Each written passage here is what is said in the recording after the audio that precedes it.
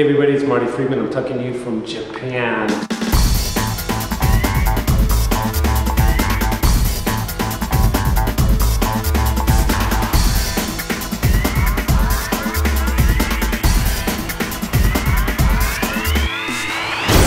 A lot of times people ask me like, how did you learn Japanese? You know, I want to learn Japanese because it's, you know, a lot of people are getting interested in foreign languages now that the world is really semaite ego de nani? Narrow. Narrow. the way I learned Japanese myself was when I decided to learn, I was on tour and there's no really way to go to school when you do that. So what I did was I did a bunch of research and um, the only college that had a course that you could like do a correspondence course of Japanese was uh, the University of Oklahoma, of all places. And uh, so I went with that, and I um, did my little homework on the bus and in the airplanes, and I actually had to like go to a college and take a test while somebody watched me and stuff, and and that was like the only thing I could really do while I was on tour. I did my like uh, you know studies and everything. Oklahoma college course is really about um, one year of a course and it was only the basics. When I took that course, I already knew a lot of Japanese vocabulary, but I didn't know the actual basic structure, which you really kind of have to know some of in language and in music. So that's why I took the course. What I would suggest, though, is like something like a homestay kind of program if you're uh, if you're able to do such a thing. Because then you get the education that you can't get in school and it's really really helpful and experience that you'll never forget.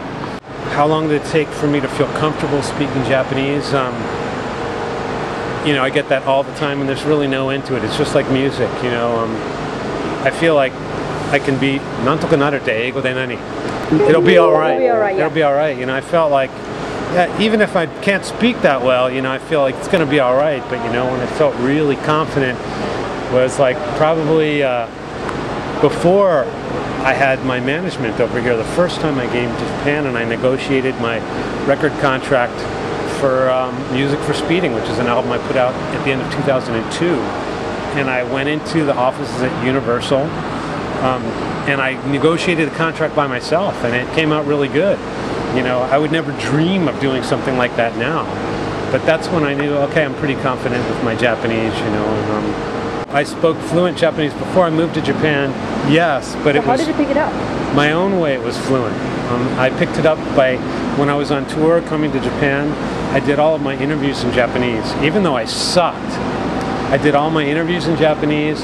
Any chance that I had that I had a chance to speak Japanese or use my Japanese, I would go out of my way to do it just like music, you know, when you start, you got to like jam with everybody, even if you don't like the situation. You got to jam with people and stuff, and um, you got to find those situations and don't blow them off when they happen. So when I came over on tour every year, you know, um, I would always, you know, make sure that I had the chance to do the interviews, and I would do them in Japanese. Even if there was a translator there, I would make sure that. Uh, you know, even though the translator spoke perfect English and I spoke like, you know, not so great Japanese, I would make sure that I'd go out of my way to speak in Japanese.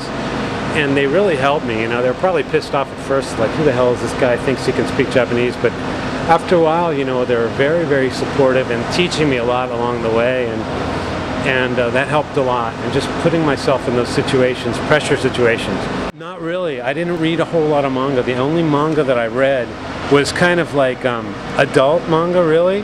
Um, no, I don't care about Pokemon and all that stuff, you know, and um, video games and all that stuff.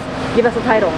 What's that? Oh, title? Title of the, the manga you read. Title of uh, the manga that I read, even still now, I read all the time, which is my favorite, is uh, Miko City Hangekijo, which um, I don't want to translate it for you. I'll let you put that in with uh, Say that Jimaku. again. Say that again. Miko Suri, let me say it again properly so English people can understand it.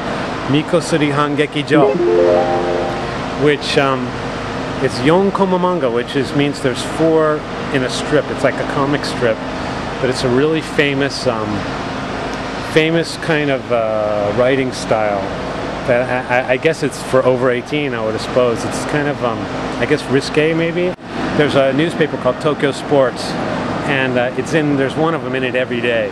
So that's how I originally got into it. And then it turns out there's magazines and books of all collections of that. So I've been reading a lot of that. But um, yeah, actually learned a lot from doing that. And, and I went to a professor at the University of Arizona. I said, "This is what I'm reading." It's a very nice, upstanding older woman, and she's a wonderful, wonderful um, professor. And she says it doesn't matter what you read, as long as you read something. And I showed her it's this, you know. It's like it's pretty like risque stuff. It's like it's great that you're reading anything at all. It will help you. It doesn't matter what it is.